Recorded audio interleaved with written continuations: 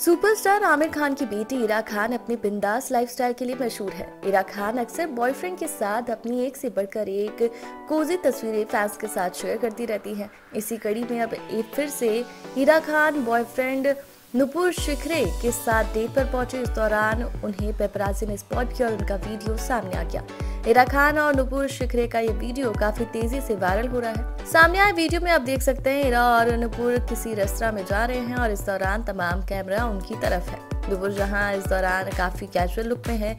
दिखाई दिए तो वहीं Ira deep neck short dress में काफ़ी खूबसूरत लग रही थी। ईरा ने अपने इस लुक को ईयरपीस के साथ कैरी किया। इसके साथ ही इस हसीना ने बालों को पूरा बांधा हुआ था। बता दें कि ईरा आए दिन अपने बॉयफ्रेंड के साथ अपनी एक से बढ़कर एक कोजी और रोमांटिक तस्वीरें शेयर करती हैं, जो कि सोशल मीडिया पर मिनटों में वायरल हो जाती है। इसके साथ ही ईरा अपने बेबाक अंदाज और हॉट फोटोशूट को लेकर भी छाई रहती है। ईरा का सोशल मीडिया देखे तो पूरा का पूरा उनका लुक हॉट तस्वीरों और वीडियो से भरा हुआ है। एंटरटेनमेंट जगत से जुड़ी खबरों से अपडेट रहने के लिए हमारे चैनल को सब्सक्राइब कर लीजिए।